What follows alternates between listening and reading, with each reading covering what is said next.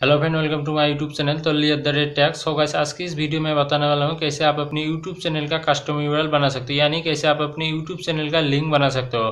Friend अगर आप एक न्यू वीडियो और फ्रेंड आपका भी हंड्रेड सब्सक्राइब कंप्लीट हो गया तो फ्रेंड आज की इस वीडियो को बिना स्किप किए लास्ट तक देखते रहिए। इस वीडियो में बहुत ही ईजिली बताऊँगा कि कैसे आप अपने यूट्यूब चैनल का कस्टम यूआरएल बना सकते हो। फ्रेंड जब तक आप अपने यूट्यूब चैनल का कस्टम यूरल नहीं बनाते तो फ्रेंड आपको कुछ इस तरीके का दिखाई देती है, जो कि फ्रेंड देखने में बहुत ही लंबा लगता है। लेकिन फ्रेंड आप जैसे ही अपने यूट्यूब चैनल का कस्टम यूरल बना लेते हो तो फिर आपको कुछ इस तरीके का बहुत ही एक्टिव टिप और प्रोफेशनल तरीके से दिखाई देते हैं। और फिर आप अपने तरीके से कस्टम यूरल बना सकते हो। तो चलिए फिर इसकी वीडियो को स्टार्ट करते हैं। वीडियो को स्टार्ट करने से पहले सभी से एक रिक्वेस्ट है चैनल पर पहली बार तो चैनल को सब्सक्राइब कर दीजिए पास में बेलाइकन को भी प्रेस करके ऑल पर प्रेस कीजिए।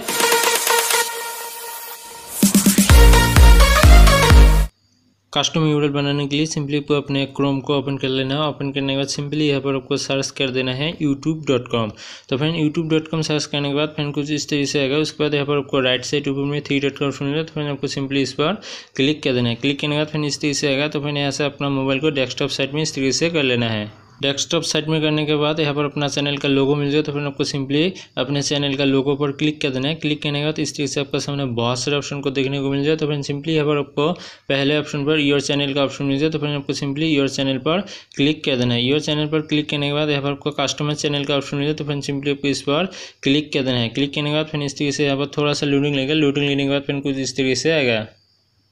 उसके बाद सिंपली यहाँ पर आपको नीचे मोनीटेस का ऑप्शन मिल जाए तो फ्रेंड आपको सिंपली मोनीटेस पर क्लिक कर देना है। क्लिक करने का फिर इस तरीके से आएगा।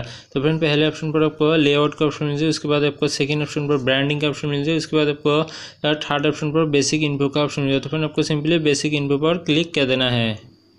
बेसिक इन्फो पर क्लिक करने के बाद फिर थोड़ा सा आपको स्क्रॉल करके नीचे आना है। नीचे आने के बाद यहाँ पर आपको set a custom URL for your channel का ऑप्शन मिले तो फिर आपको सिंपली इस पर क्लिक कर देना है। फ्रेंड अगर आपका हंड्रेड सब्सक्राइबर कंप्लीट होने के बाद भी ये नहीं आ रहा है तो फिर आपको सिंपली दो से चार दिन वेट करना है।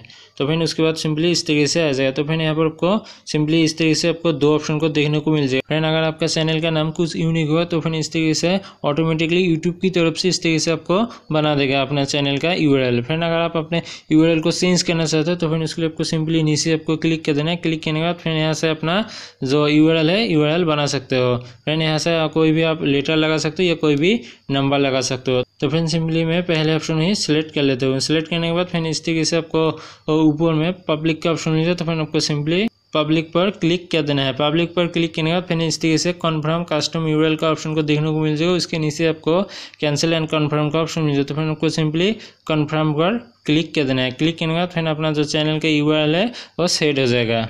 तो फ्रेंड यहाँ पर आप नीचे देख सकते हो, मेरा जो चैनल का यू है तो फिर इस तरीके से बन सके तो फिर इस तरीके से भी आप बहुत ही ईजिली अपने ही मोबाइल से कस्टम यू बना सकते हो। और फिर अगर आपका चैनल थर्टी डेज़ पुराना नहीं है तो फिर आपको कस्टम यू का ऑप्शन नहीं मिलेगा। तो फिर इस तरीके से आप बहुत ही ईजिली अपने ही मोबाइल से बना सकते हो।